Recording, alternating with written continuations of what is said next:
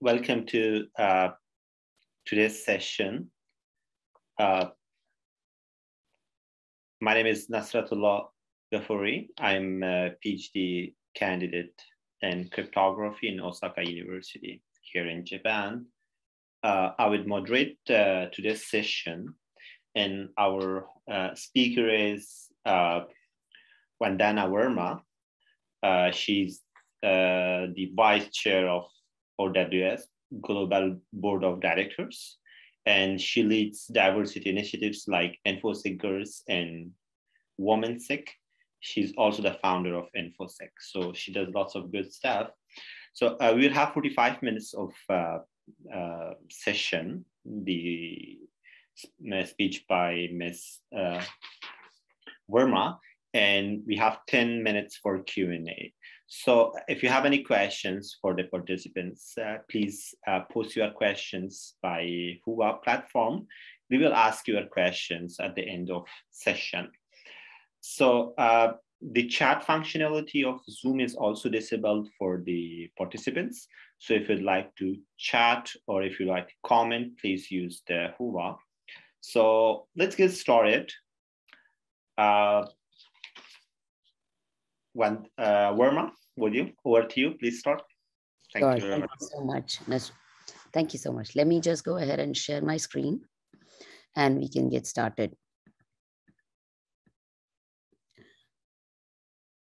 Now, before I share my screen, I have a question for everyone.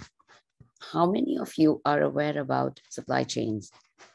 I think a lot of you, because when we are at OWASP conference, that's something which is very, very important. And uh, it's something becoming very, very big when we are talking about issues that are spanning across. Now, the point comes how exactly do we deal with them? How exactly uh, these things are changing the uh, scenarios? And on top of it, the most important thing comes is do we even want to talk about them? Or how do we want to talk about them? So today in the talk, I would be covering that, some aspects which I understand, which I've see, come across. I am sure there are many more things that you, you are coming across and you want to share with me. I would love to have your feedback after the session. I would love to understand from you what are the questions which actually create a lot of issues and how exactly I can help. So today's talk is all about supply chain risks, which are actually trying to Im impact everyone. Um, a little bit about myself. I am a security relations leader at Snyk. And uh, when I'm not working at Snyk, I am actually contributing to our very lovely community, OWASP, which is Open Web Application Security Project, and we are talking at the conference today. Um, I am actually serving as a chair, and I can proudly say that I am first woman, first Asian, first Indian chair. It's an honor for me to be part of such a big community, serve the community, and uh, we would love to have more and more people joining the community, helping out. And if there's any way I can be of help, please do feel free to reach out to me on my LinkedIn, Twitter, anywhere you feel comfortable. And my email address is there on the website. If you go to owasp.org and start learn, checking out board members, you would be able to find that. Now, coming back to the topic, we talk about futuristic things. And this is what we feel is a futuristic image of something we really want. But while we are dealing with it, the most important thing comes is that are we uploading some, uh, so are we seeing there is a data which is getting uploaded somewhere? Or are there any things which are uh, impacting our devices? There are times where we've come across that while there is some software getting downloaded, the data getting stored in cloud, which is accessible to a lot of people who should not have access to it. So it's important to understand or what will happen. Everything that we do would be tracking. Now, when that tracking happens, do you want your child uh, uh, to be monitored? Or do you think that anything that you speak at home, anyone can hear it? Or for that matter, your neighbor can hear it. No, we do not want that. But the most important comes is that in this journey, developers play a very, very big role. The whole supply chain attack system or landscape is actually very, very big. It is so big that these attacks are coming in and we are fizzling. There are times wherein we do not understand how exactly we should react to these attacks. And when you are at this talk, I am sure you all care about software security, and that's why we are discussing it.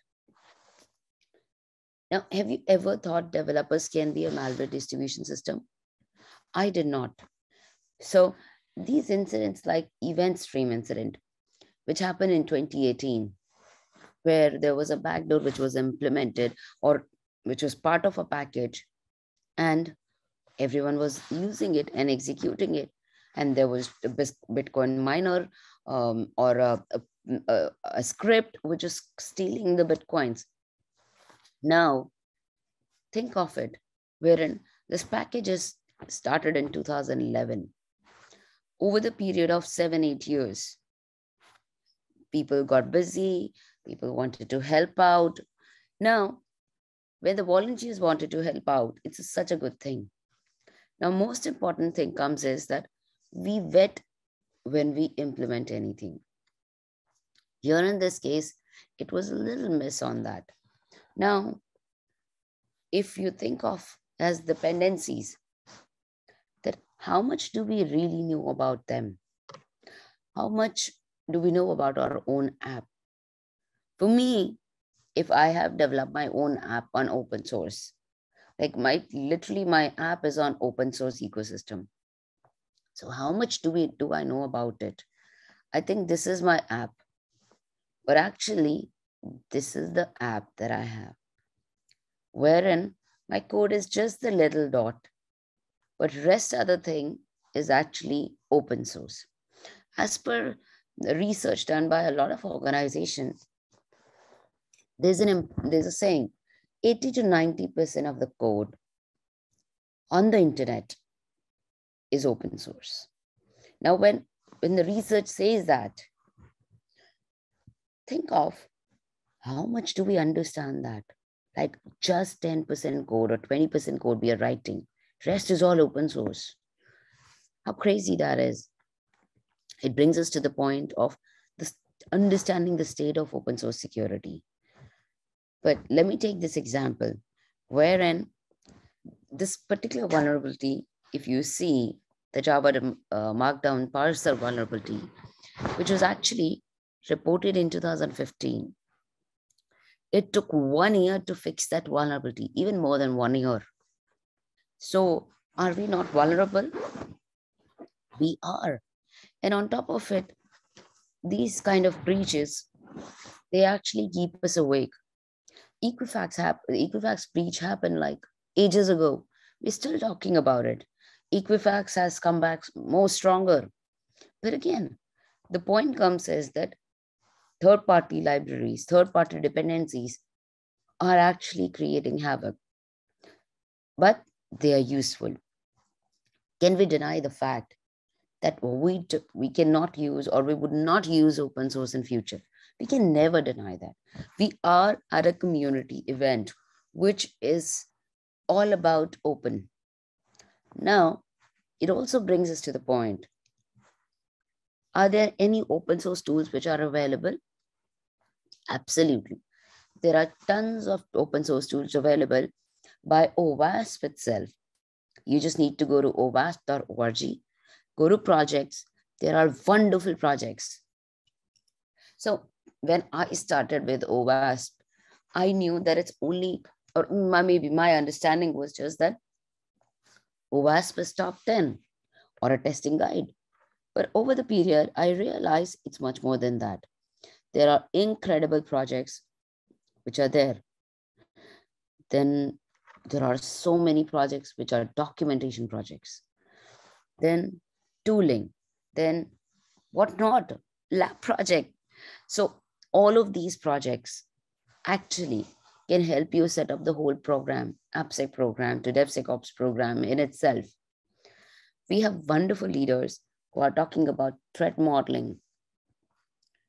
What I can say is that that all these things can actually help us in removing the impact that we have. Because supply chain risks are big. Software is eating the whole world. And why do I say software is eating the whole world? Because we are talking about it. We want the softwares to be here. And in order to understand where software supply chain came from, let's discuss we are today and where we were from software application education. Marc Andreessen penned his famous Why Software is Eating the World essay in the Wall Street Journal in 2011, 12 years back.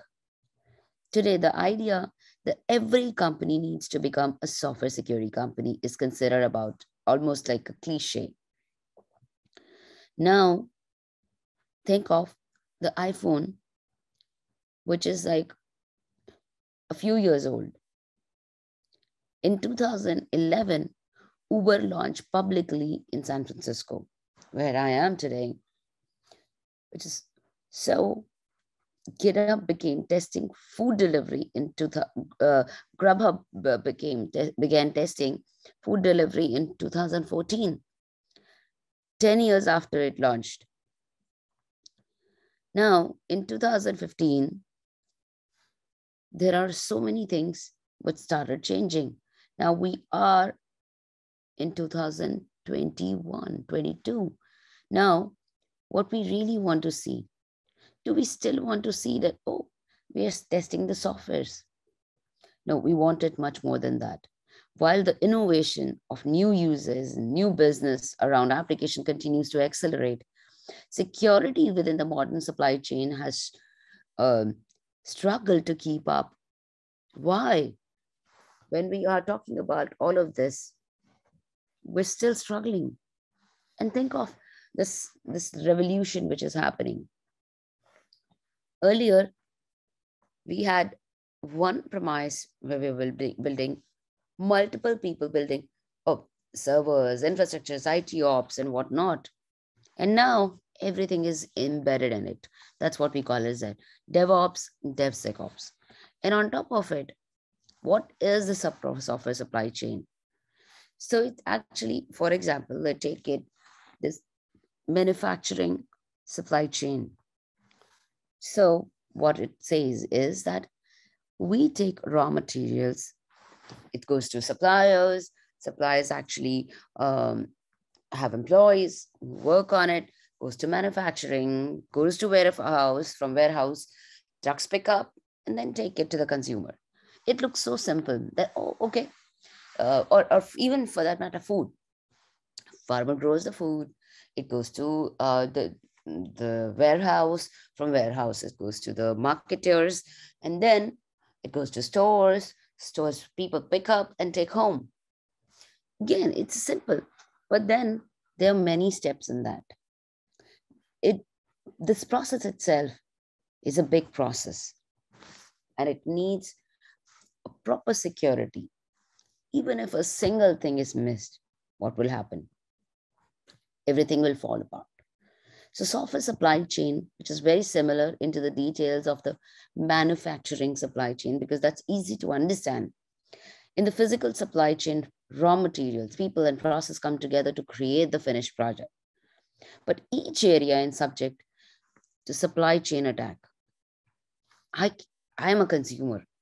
Even before something reaches me, something can happen. It's in the warehouse.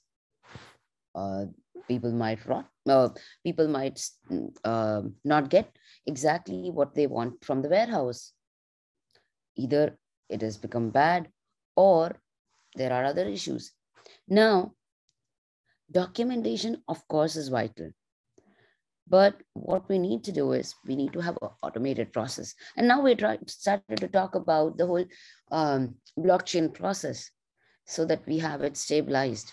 But then we're a long way to go. In the supply chain itself, there are set of materials, tools, platform, people. In the coding, we have libraries and containers, which again, we code it with, we actually have ecosystem, which sends it to the CI/CD pipeline. Um, then the code is stored somewhere and the consumer starts using it. Now think of a situation wherein there is a binary which is vulnerable as part of the code itself. Now the code is shipped to everyone and everyone is using it. Is it easy to be vulnerable? Absolutely. It is easy to understand what things are happening. Now, let me tell you a situation. Um, did you hear about SolarWinds attack? Some of us have heard, some of us have not heard. So if we go back and look at this, uh, this particular attack, what happened? There was a binary which was added, which was shipped. Now people started using it, and then organizations realized something was not so right, and they started reporting. But it again boils down why the focus on the software supply chain is because of these attacks, exploiting the weakest links, which are trying to infiltrate the data from the whole chain. And there is one point which is missed in the chain, and anyone can take leverage from it. Now, let's say my system gets hacked. Who knows what data would be lost? How exactly that'll be tracked? And now the cases like SolarWinds, Codecov issue, or Visual Studio Code, which was uh, where uh, somebody got access to Visual Studio Code and they were able to get access to a lot of GitHub accounts. By God's grace, they reported it led, uh, uh, responsibly. But things could have gone in a wrong direction. As per research from Gartner, which predicts by 2025, 45% of the organization worldwide would experience these attacks, which is such a huge number, like threefold increase from what we were yes, uh, yesterday or probably last year. Now, these software chain attacks, wherein Visual Studio Code, which is used day in and day out as an IDE, or not just Visual Studio Code, but any IDE, if that has an issue, there are dependency confusions, there are container issues. We want to have APIs, uh, infrastructure where it is helping us as early as possible.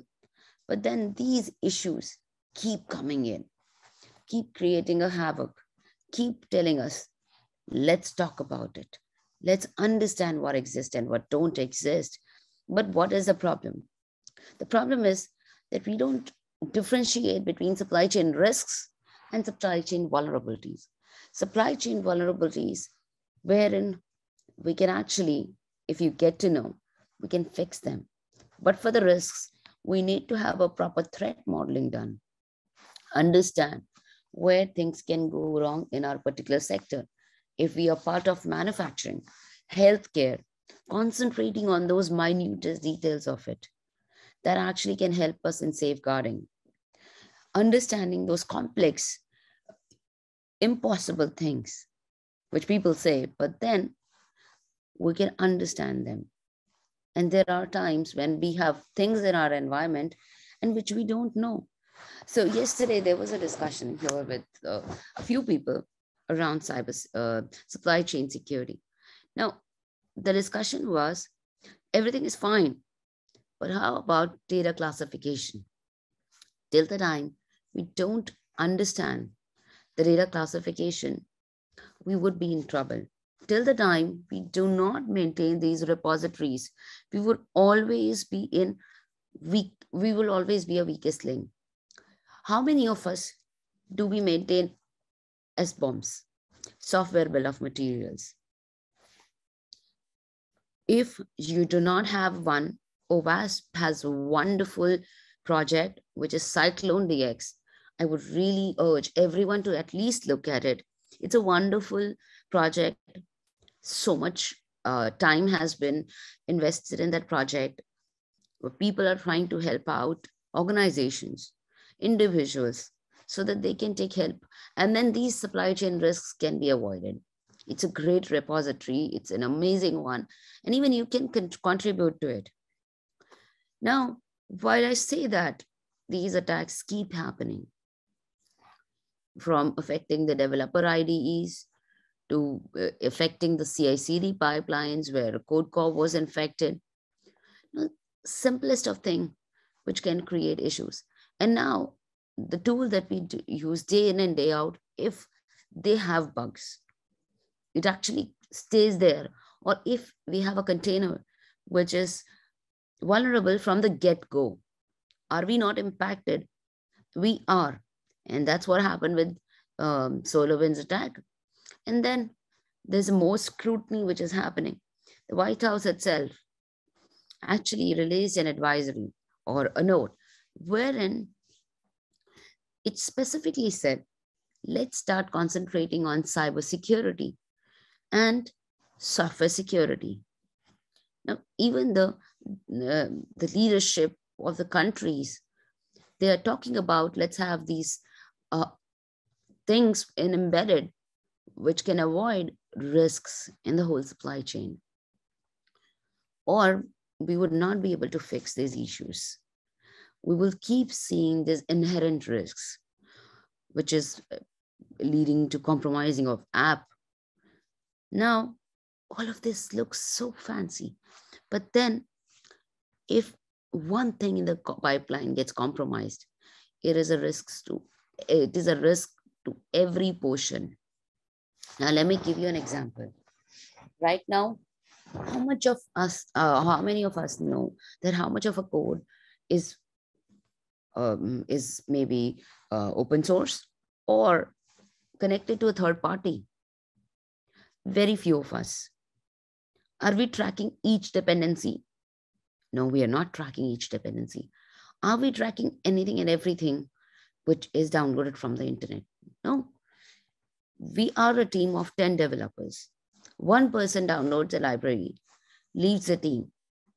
Do we have the list of what he downloaded or she downloaded or they downloaded? No, we don't know. That's why documentation is very, very important. That's what it can help us in understanding the foundation, understanding how exactly supply chain works and what we can do to make sure that the supply chain attacks are avoided. NIST has released beautiful uh, content about it and so many other frameworks which are there. These frameworks are actually helping us. Be it NIST, be it CIS control, and where we are talking about OWASP.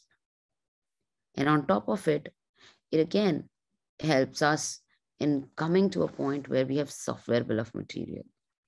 Now, I would request you to look at uh, the different things which are there, and especially CycloneDX, which is helping us. And let's talk about secure code. Understanding our own dependencies, containers, SBOMs, infrastructure as a code, the custom code that we are trying to run. Now, it also brings us to the point that how much risk aware we are because of our dependencies. And SolarWinds is not just the one. The recent example, if I talk about in this whole pipeline, third-party tools, secret management and whatnot, Log4j is a big thing. But especially in December, I was on vacation and suddenly this thing happened. Everyone was talking about it. Why? Didn't we monitor it? Uh, were we not aware about whether we are using it or not?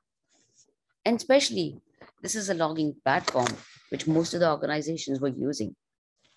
Everyone went crazy. But the DevSecOps thing, when we are trying to integrate it, it was integrated core inside of an app.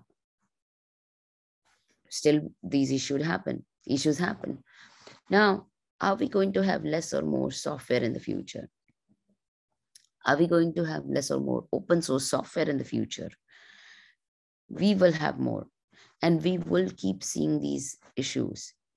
And Log4j is a very well-known Apache logging framework, which impacted million dollar organizations to the smallest of organizations. But it costed huge amount of money, which specifically comes out saying that when these things are very prevalent, it, it's important to understand that how exactly regulatory compliance works if something fails. How exactly cloud security controls are there? And why am I talking about cloud security control? Because we have one foot in open source, another foot in cloud. There are third party applications that I'm using, which is leading to remote code executions, to server control uh, failures, to whatnot. And especially controlling these third party risks is a big thing. Because if we don't actually completely look into it, then what will happen? Somebody might be able to deploy malware, ransomwares. They would be able to take over our application, which will lead to actually trust issues. And not just that, when these popular platforms keep coming up with zero day issues, it brings us to the point that let's go ahead and have an environment wherein even if when we are sleeping, we can actually understand, okay, this is where the problem is, let me fix it. It will not happen overnight. For that, we need to have community like OWASP, which actually awares, make aware people around software supply chain issues, around software security, around DevSecOps. There are wonderful people in a vast community you can actually take help from. There are projects which are there to help you out. And if you have any issues with any of the project, understanding, you can reach out to the leaders. They're really helpful. Every one of the leader is actually contributing their valuable time to the project. So there's something that you feel needs to be changed, modified. Please do make a pull request to the leaders so that they can actually update it. Everyone is contributing their valuable time. And the mission is to make sure let's make application security visible to the people and helpful. It also brings me to the point wherein I want to share that I started a series on my YouTube channel around OWASP Spotlight series, which has around 25 projects. And uh, this year, from July, you'll see more and more project coming up where we are trying to cover each project in 15 minutes. So for dependency vulnerabilities to application vulnerabilities, attackers are trying to target the big ecosystem. Application security is becoming more and more challenging by each passing day.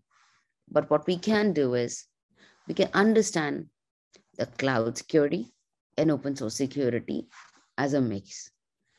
By understanding if we make the security easier, developer friendly, and actionable, things can be much more easier, things can be much more uh, helpful, and we can detect these issues as early as possible. While we talk about these standards, we, we talk about these security issues, we talk about how do we address them. It brings us to the point, let's have best practices for open source security, which OWASP is trying to share. And open source is amazing, but let's use it responsibly. Let's have security champions who actually can advocate about it, like we are doing today. But who is a security champion? Now, security champion is the one who's actually helping different teams or the organization in driving security. It can be a project manager, it can be a developer, it can be a tester. It may not be just a security person or the person from a security team. We also, it can also help in having a focal point, understanding how exactly we can move further. I'm sure a lot of us in the call today or in the session today are developers testers, or even who wants to grow up in the cybersecurity space, who wants to move up the ladder, who wants to take a step further in application security. Now, when we have so many people from different areas, anyone can be a security champion, which can influence the cycle of CI CD. And we can have a software which is built securely. Now, it also brings me to the point that when we have everything which we understand, it's just that we need to stick together those pieces of puzzle and we need to start working towards safe environment. Supply chain attacks are not new. They have been there for ages and they might be there when we grow up or when our kids are going to grow up if we don't start looking at the small things which matter the most, wherein we can stitch the security in, where we can bake the security in, where we start trying to talk about shift left or left shift, or starting the security early, talking about security by default. This is the small presentation that I wanted to share around supply chain security. There are a few things that we all can do to make sure that supply chain risks are avoided. Thank you so much for listening to me today. If there are any questions, please do post your questions in Whova platform, or you can actually um, share it here. I would love to speak to you.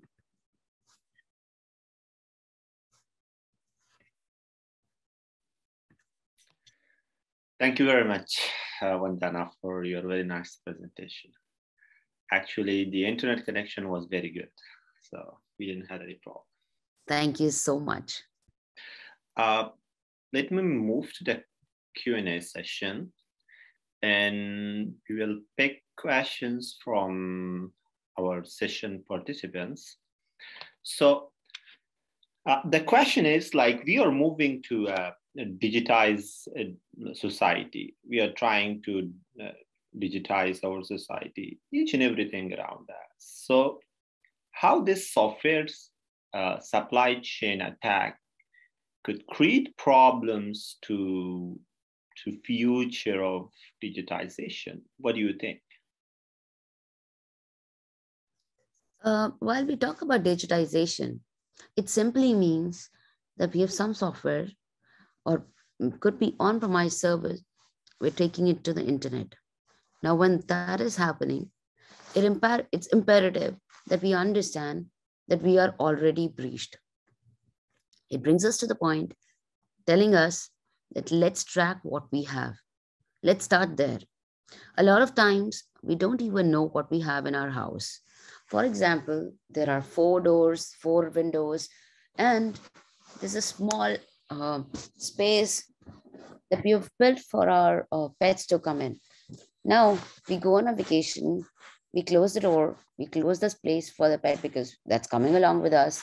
We've closed some of the windows, but there's one window which is open, which we didn't realize that it's not closed properly. An attacker comes in and steals the data or steals the valuable things. So, how are we going to tackle that? So, it simply means let's start understanding our own data first. Let's classify it. Let's understand what tools we have.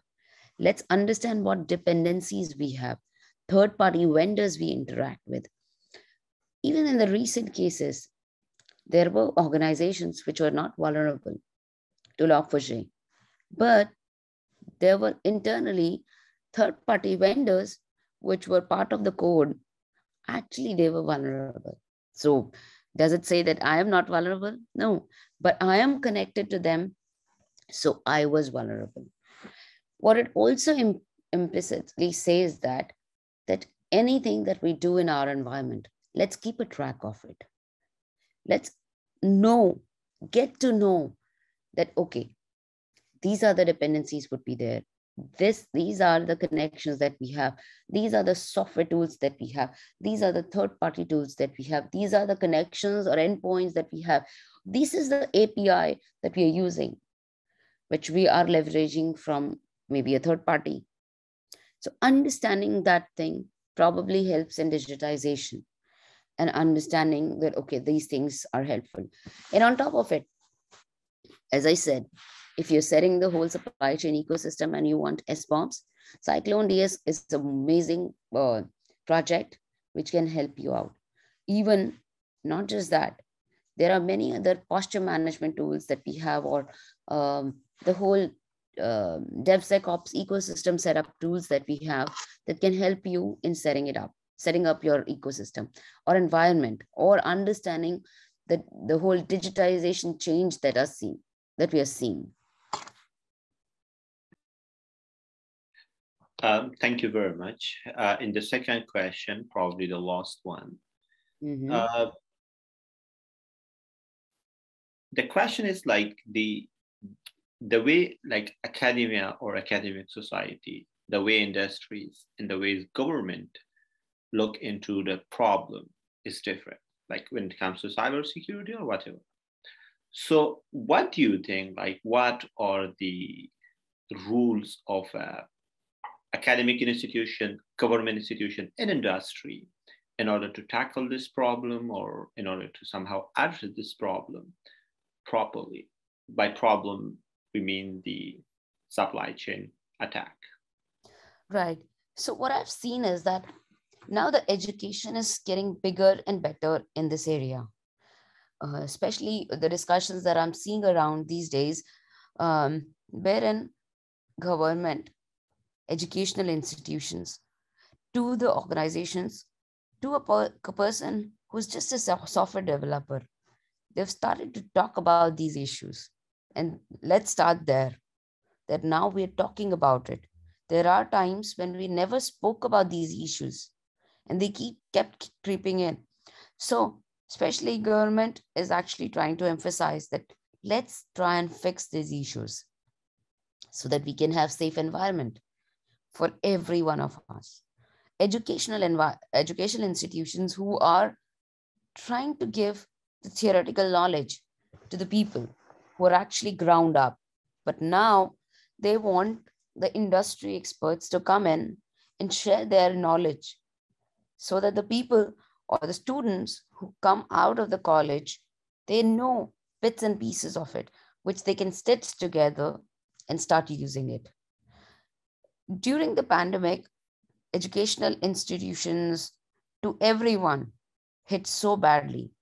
Kids were getting homeschooled. There's still places where kids are getting homeschooled, colleges. Everyone was studying online. Even today, if we're talking about a OWASP conference, it was supposed to happen in Dublin, but we are virtual, understanding the scenarios. So these things can happen. Now it brings us to the point how sustainable we can be, how exactly we can meet again virtually. So it also emphasizes that understanding of the topic itself is first important, which we, which every organization is trying to do. Addressing is the second.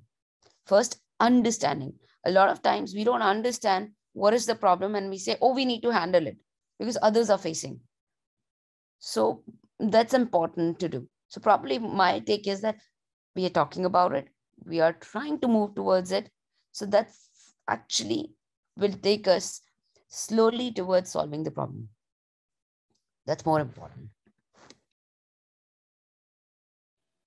uh, thank you very much i think it's very interesting area to talk in. I have even personally I have so many questions to talk and discuss, and probably in our next opportunities. Uh, so we are running out of time. Thank you so much, and it was pleasure having you here. Thank you very much. Thank you so much. It was amazing to speak here, and I'm looking forward to connecting with all of you. Please do feel free to reach out to me anytime. For sure. Thank you very much.